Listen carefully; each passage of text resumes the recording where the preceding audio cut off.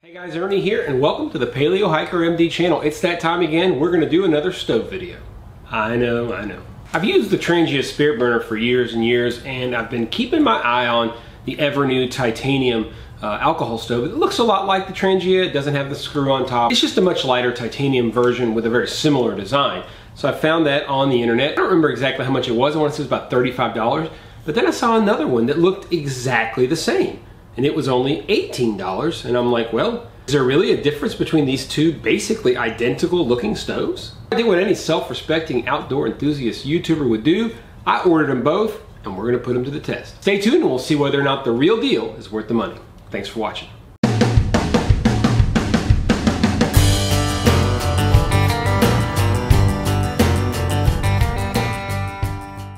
Frequently, companies will create a product, that works very, very well, and other companies will come back and they'll make basically copycat versions of that particular product, and they're much cheaper. It's easy to get tempted and go for the cheaper model, especially when they're like this and they look exactly the same. The Trangia Spirit burner is a classic burner. This Evernew burner is from Japan. It's been around for a very long time as well, and Evernew has been around as a company in Japan for, for many, many years. Now, the titanium stuff from Evernew is not super cheap, like I said, and it is much more attractive to spend basically half the money on this one. Let's take a good look at both of them. We're gonna weigh them, look at the pros and cons, boil some water, and see which one performs the best. So first of all, let's take a look at the real deal. This is from Evernew. You can see it's stamped right on the back there. It's also on the inside. You can see it says Evernew Titanium. Very, very nice. This is made in Japan. It is pure titanium construction.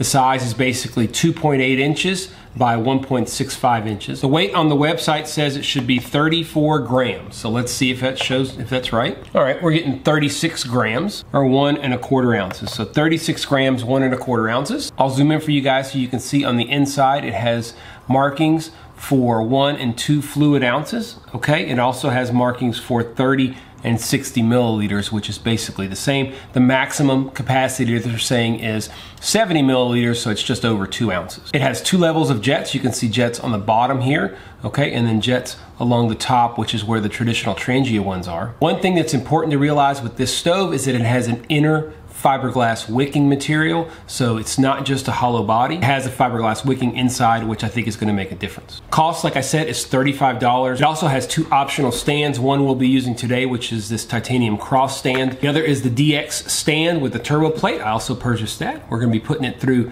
uh, some testing here soon as well. As you can see, these things look very, very similar. This is the copycat model basically. It's branded as Boundless Voyage. The company that makes it is ZXMY and it is made in China. Okay, they're also saying it is basically pure titanium construction. The size is the same, 2.8 inches by 1.65 inches.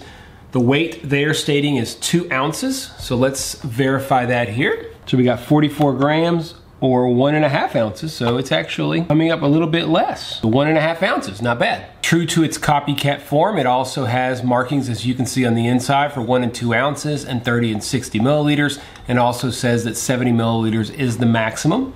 It has two layers of jets. I will say that the jets here on the outside in particular are uh, larger diameter jets. Pattern of jets looks exactly the same between the two stoves, up on the top and on the bottom. It just does seem that these bottom ones are a little bit larger diameter, like I said, than the others. It does not have a fiberglass wick, so this is a hollow bodied stove. There's nothing in there to help with the flame or whatever it might be. And of course, the major difference is this is $19 on Amazon. Looking at the two again next to each other, the Evernew's titanium is a little bit different finish. This is more of a matte finish. This is more of a glossed finish. There also on the Evernew is kind of a noticeable lip right here. You can feel where it's been bent over. The titanium has been bent over. This model, you do not feel that. It is more seamless. I would assume that means this is more of a stamped press construction, which is gonna be much cheaper to produce than something like this that needs to be created in two separate pieces and then put together with the wicking and then this needs to be rounded over on the top. So I think that's just a production deal to make it a little cheaper. We are gonna use the Evernew titanium cross stand for both of these uh, tests. First of all, we're gonna fill it with one ounce of HEET, which is uh, in the yellow bottle. We're gonna light it. We're gonna time how long it takes for them to prime. It is fairly chilly in my room here, so they'll probably take a little while to prime. It'll be curious to see if that fiberglass wicking helps the priming of this Evernew sum. I have a feeling that it definitely will. So we'll time how long it takes to prime, we'll time how long it takes to get two cups of water to a boil, and we'll time how long it burns for on one ounce of fuel. All right, that's about it. Let's boil some water. All right, so we're gonna start with the Chinese version. I've dimmed the lights here so I can see when it actually blooms. So we're gonna start it up. Start the timer, okay? We're gonna wait and see how long it takes for it to actually bloom. All right, one minute, 45 seconds we're gonna call it. We're gonna restart it and put on our water. So one minute, 45 seconds to get it to bloom. Let's see how long it takes to get it to a boil. All right guys, we're running out of gas here. We are at 100, 200 degrees, 9 minutes, 22 seconds, it just went out. So we got up to a maximum of 200 degrees and boom, I mean, it just went out basically at 9 minutes. I think I marked 9 minutes, 22 seconds where it went out. So we didn't get to a boil with one ounce of fuel. Let me recycle the water, get water back on, and let's see how the name brand Evernew performs. All right, we're back with two cups of water, 65 degrees. We are going to light this up and see how long it takes to bloom. All right, we're lit. Let's see how long it takes to get this thing bloomed up. All right, wow, so we're already starting to see some bloom and it's much earlier. We're almost there, guys. All right, we're gonna call it at 30 seconds. 30 seconds for a bloom. I'm gonna put this on, start it, and let's see how long it takes to get to a boil. All right, so we're up to 200, which is where the, uh, the maximum of the other stove got. Let's see if we can get it all the way to a boil. All right, we're getting close here. All right, boil at 8 minutes 24 seconds. 8 minutes 24 seconds. Let's see how much longer this thing uh, runs for. I'm going to go ahead and leave the water on so that we control the environment the best we can. And uh, let's see how much longer it runs for. All right, we're starting to lose some steam here. All right, it's pretty much out now, 9 minutes 30 seconds. We'll call it out at 9 minutes 30 seconds. All right, so what did we learn? Well, I'm gonna tell you, we're gonna talk a little bit about flame and flame color today, and that's really gonna help us understand why we got the results that we got. So the first obvious thing we noticed was the bloom time. It took 30 seconds for the Evernew to bloom, and it took a whopping 1 minute 45 seconds for the Chinese version to bloom. That's a big, big difference. One minute, 15 seconds waiting for something to bloom is a long time. Now, as a consequence of that, I think it took a long time for it to bloom, so it used a lot of fuel. Now, what's interesting is they both burned about the same amount of time.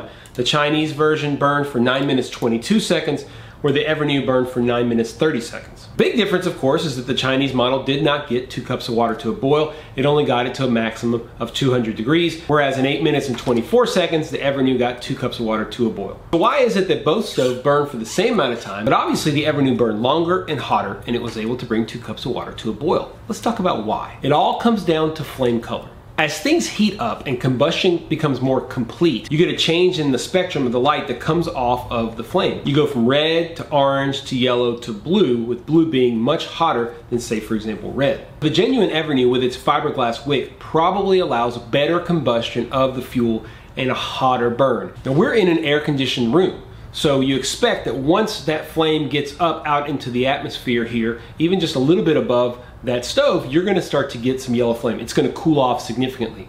But you can look at the flame that's coming straight out of the jets to tell you the story. The Chinese version, as you can see, has blue coming out of the jets, but then at the very tip of the flames, it is already starting to go orange. That means it's cooling off very quickly. Evernew, on the other hand, has full blue blooms all the way out of the ports, and it doesn't get cooler until it gets out above the level of the stove when it gets into the cooler air here in my air conditioned shop. Now red flames are somewhere between 1000 and 1700 degrees Fahrenheit. Orange flames go up between 2000 and 2200. Whitish or yellow flames are more like 2400, 2600 degrees Fahrenheit. And once you get up to blue, you're up at about 3000 degrees Fahrenheit. So that little bit of change in color of the flame is giving you a 5, 6, 700 degree difference in the heat of the flame. Now what are alcohol stoves supposed to do? They're supposed to take fuel and convert them into heat. Well it is clear both with the numbers and with the flames they produce that the Evernew is more efficient at creating a hotter flame, therefore it's able to heat things faster and get things to a boil. It burns basically the exact amount of time. One ounce of fuel burned basically the same within eight seconds of each other. Both of them burn for right about nine and a half minutes. The big difference is, is that the Evernew was able to get it hot enough to get to a boil inside of that nine and a half minutes. So you have two stoves that look basically the same. One of them costs about double, the other one obviously is cheaper.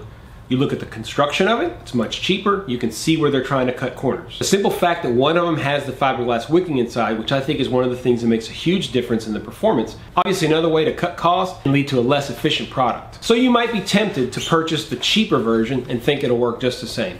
Well, let me tell you, it'll make flames. If you add enough fuel, it'll bring water to a boil, but it is less efficient. As always, you pay for what you get. The Evernew makes hotter flames, it weighs less, has better construction, and performs better. Now, is it a big practical deal? Well, I think it is personally. You're waiting a minute, minute and a half longer for something to prime. You're gonna end up using more fuel. I think it's a big deal, but that's me personally. There's nothing wrong with going with the cheaper stove. If you only own the cheaper stove, you'll only know it works. You'll never have any comparison to it. My idea of this video was to look at the two products and decide, is one of them, which is more expensive, worth the money? I think we've shown that it clearly is. Like I mentioned, I also purchased the DX stand and turbo plate for this particular stove. I'm gonna be checking that out, checking bowl times, just using the cross stand like we use today, plus using the DX stand with and without the turbo stove, and we're gonna see what kind of difference that makes. Been doing a lot of stove videos lately, guys. It is hot in Louisiana, and I like being indoors when it's this hot and muggy outside. I really appreciate the continued growth and support. If you guys like this video, please do me a favor, hit that thumbs up down below, help spread things across YouTube. If you like the video as well and you wanna see more like this, and you wanna make sure you see that DX video when I put it out, hit the subscription button. If you're feeling really crazy and you wanna make sure you never miss a video from me, hit the ding dong bell, and you'll be the first to know. Always guys, I really appreciate you checking out the channel. Really enjoying putting out videos for y'all, doing fun stuff, just things that I enjoy and I hope you enjoy it as well. Gonna enjoy the rest of my Saturday today with my family. I hope you guys have a wonderful day wherever you are and stay tuned for more videos here on Paleo Hiker MD.